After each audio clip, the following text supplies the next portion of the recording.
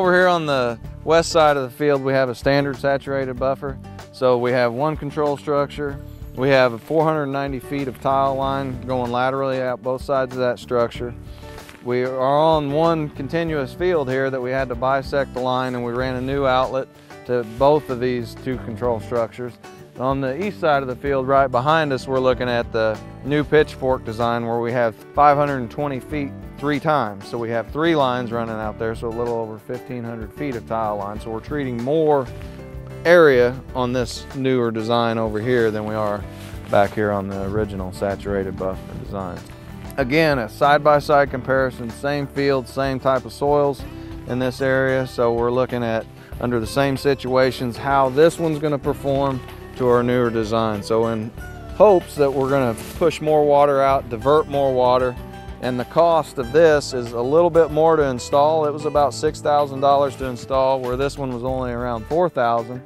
But on a per acre basis, this one's actually cheaper to install because it's treating 19 acres versus six acres over here. And then this outermost line, the farmer will actually farm across the top of it. And we have a gate valve in there that we can open and close. So we'll have water that we can shut off when the farmer needs to get in the field and access the field. So we can drain that water off and then we still send water to the other two lines. It's through plant uptake, just like a standard saturated buffer and also through denitrification.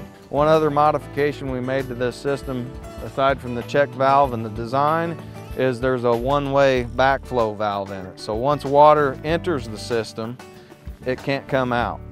Ultimately, what we hope to learn is how this design compares to the standard design in different field situations. We want to uh, thank all the partners for this. We worked with the Land Improvement Contractors Association that got all these people organized out here to put the, the tile in. The Illinois Farm Bureau helped us you know, get in contact with the farmer. And then NREC, this is one of four projects we have funded with them. So um, again, they have been critical in, in, helping us address these water quality issues and uh, supplied funding for these four projects. And with this partnership, we plan on moving forward and putting in a saturated buffer at, at uh, four new sites over the next four years.